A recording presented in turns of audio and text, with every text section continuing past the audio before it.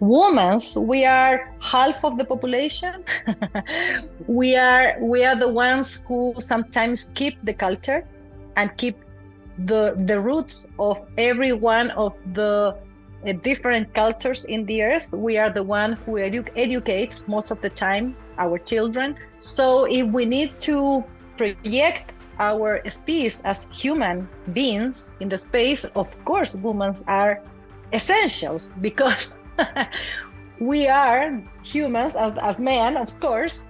Uh, we have something to to contribute in, in the leadership. Our, our, our, kind of leadership is quite different because because our sense of power is different. But also as educators, we raise the children.